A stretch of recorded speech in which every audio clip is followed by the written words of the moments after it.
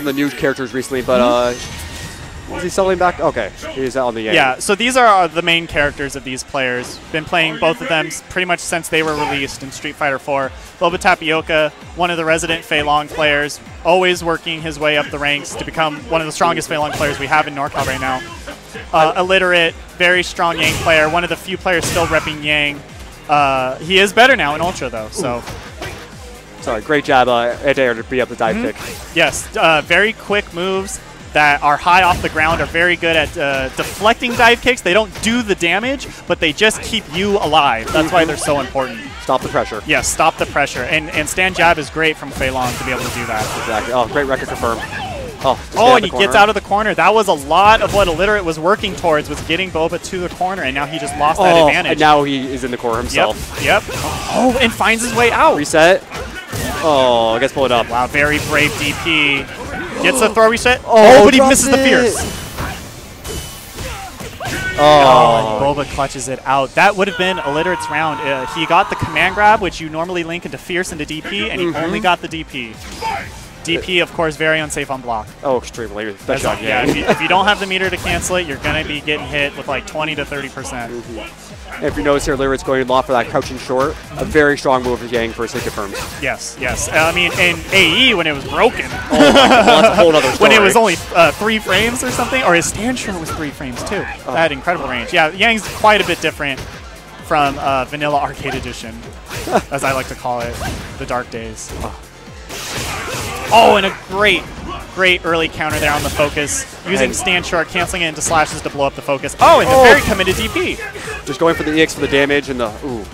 Probably get safe jumped after that, but Well, Fei Long, his EX DP does significantly more damage than his non-EX. Some some characters only get a little bit extra damage. Fei Long gets a ton of extra damage. oh, there's the ultra convert for illiterates.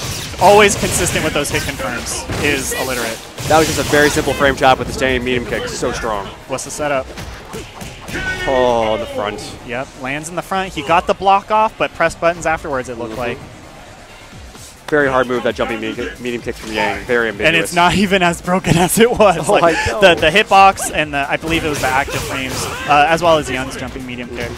Though they brought it back for Ultra from uh because it was really bad in uh Yes. 2012. Yes. Yes. Oh, punish, great punish. they brought the back most of it. Oh, throw reset. Oh, It went fierce in the palm. Is that what he wanted? I don't know because you do get the knockdown off of the DP. Now Fei Long, it's a two-frame link, crouch jab into crouch jab Rekka, as opposed to just the one-frame link. Exactly. A little safer, but he's getting the convert, which is oh.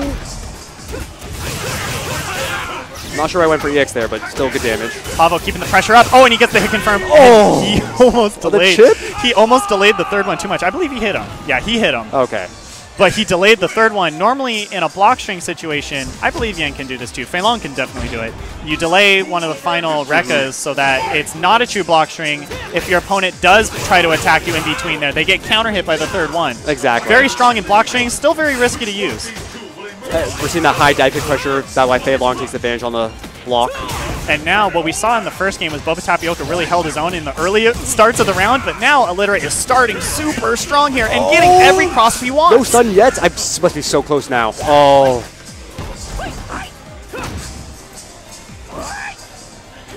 And Boba looking a little lost, doesn't get the crumple. Very unfortunate. I know, just trying to find. Oh yeah, I'll chip. In uh, in Japan, they call level two focus into Ultra One the Dream Maker for Fei Long. I believe they say it in Japanese too. I don't think they say it in English, but Be a little but awkward. yeah, one of my friends from Japan said they, they say it all the time when it happens. They go Dream Maker because it is Especially Fei Long, such great focus range. such great focus range, so incredible damage off of a single crumple. Oh, such aggressive play from Litter. Pressing buttons. Oh, and just eating these Rekkas. Raw Dude. Rekkas. Boba using them very well. Exactly. And Could have been a DP there. Exactly. He's been really not good with the anti-air game. This Fei Long getting a lot of jumps. And Boba might, might has kind of milked a little bit there, jumping a little more, noticing that he wasn't really getting anti-aired all the time. It's not a super reliable strategy, though. Still not Once getting anti-aired, yeah. right, Oh. Wait. Kind of unfortunate. Oh. oh, there he Oh, goes. All right, exactly. All right, I got to play right now. All right. So I'll be tagging back in. All right. Well, we just saw some great rounds from Illiterate and Bob Tap- Tapioca. Illiterate moving on with his very strong Yang play.